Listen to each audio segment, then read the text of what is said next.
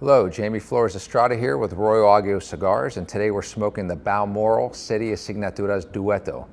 This is a collaboration between two of the most passionate cigar makers in the industry, both out of the Dominican Republic. We've got Ernesto Perez Carrillo, which you know he's known for his elegant robustness in terms of his cigar lines. We're also got uh, Boris Wintermans, both of these two collaborating. Boris is a fourth generation CEO at Royal Agio Cigars. So both factories in Dominican Republic, both boutique cigar makers, collaborated to create something that's meant to excite the senses and really inspire cigar smokers. And that's the Balmoral Serie Signaturas Dueto.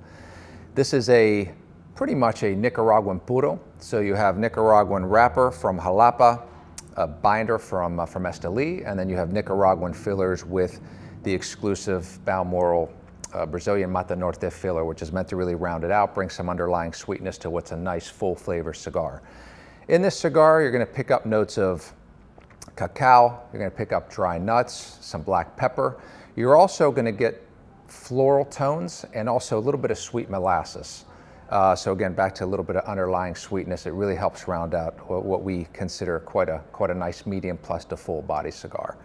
This is a cigar really that you could pair with you know, any, any sort of dark spirit that you're into. Personally, I like a good bourbon, um, you know, something like an Angel's Envy or maybe even a Michter's uh, single rye uh, would be really good with this cigar. But make sure you pick one of these up at SeriousCigars.com and get them while they're around. They're ongoing production, but they are limited. So pick one up today. Enjoy.